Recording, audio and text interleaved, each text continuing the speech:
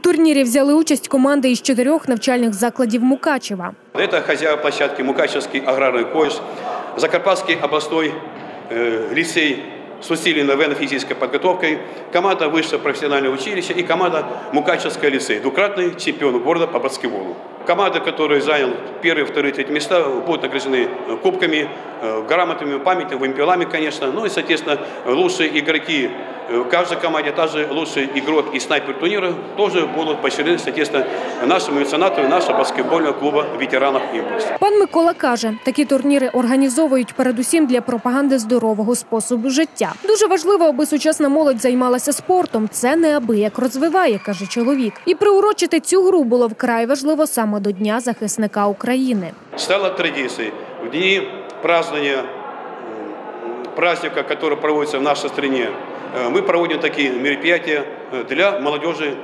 нашего города. И, конечно, принимают участие не только молодежная команда, даже ветеранские команды нашего города Мукачева. Микола грає за команду аграрного коледжу. Зізнається, перемогти дуже хоче. Тим більше, що грають вони у такий важливий день. займатися спортом, щоб е, е, любили свою рідну батьківщину, щоб не боялися типу, розмовляти українською мовою.